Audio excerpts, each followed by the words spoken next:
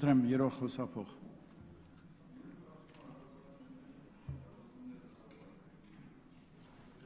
Շնորհակալություն։ Հարգարժան նախագահող, հարգելի գործընկերներ, հարցս ուղղում եմ Հայաստանի Հանրապետության վարչապետին։ Հարգարժան պարոն վարչապետ, արդեն 1 ամսից ավելի անցել է այն պայմանավորվածությունից, որ մենք ունեցանք կառավարության ներկայացուցչի հետ պետաիրավական եւ մարդու իրավունքների պաշտպանության հարցերի մշտական հանձնաժողովում շատ մոտ ապագայում, մասնավորապես 10-օրյա ժամկետում կառավարությունից ակնկալելով համատեղ քննարկում զոհված ազատամարտիկների եւ առաջին կամ երկրորդ խմբի հաշմանդամություն ձեռք բերած անձանց ընտանիքի անդամների աշխատանքային արտոնության վերաբերյալ։ Հիմա արդեն անցել է 1 ամսից ավելի եւ համենայն դեպս մենք Ծառուկյան դաշինքի օրենքի համահեղինակ падգամավորներս բացարձակապես իրազեկված չենք տարված խոստումը հիկատարացելու վերաբերյալ։ Հիմա ես ուզում իմանալ, մենք կտրենք մեր հույսը նրանից, որ կառավարությունը պետք է հարգանքով վերաբերի ընդդիմության ներկայացրած նախագծերին։ Դա ի՞նչ է նշանակում։ Թե կառավարությունը չի հետաքրում այդ խնդիրը, դրա համար էլ կարելի է խոստանալ եւ մոռանալ։ Խնդրում եմ եւ ակնկալում. ուղակի եւ հուզական չեզոքություն ապահովող պատասխան, որովհետեւ եթե պատասխանը չեղավ հուզական չեզոքություն ապահովող, իմ արձագանքն էլ կլինի այդպեսին։ Շնորհակալություն։ Ձեր հարցին կպատասխանի աշխատանքի եւ սոցիալական հարցերի նախարար Արտեմ Ասատրյանը։ Ընտրեմ պարոն Ասատրյան։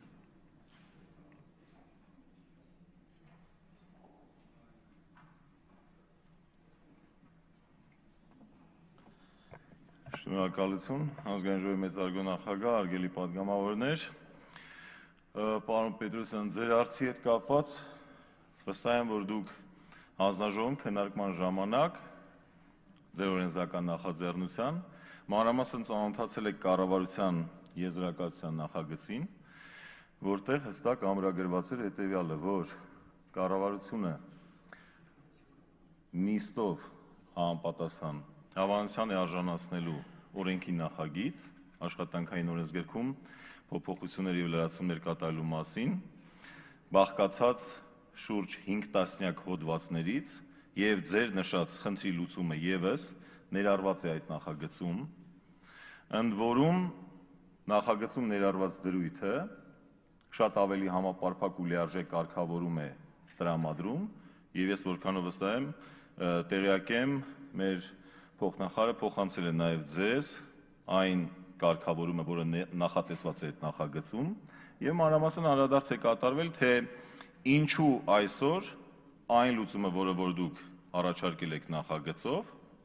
չենք համարում այս պահին ընդունելի եւ ժամանակավրեպ եւ առաջարկել ենք,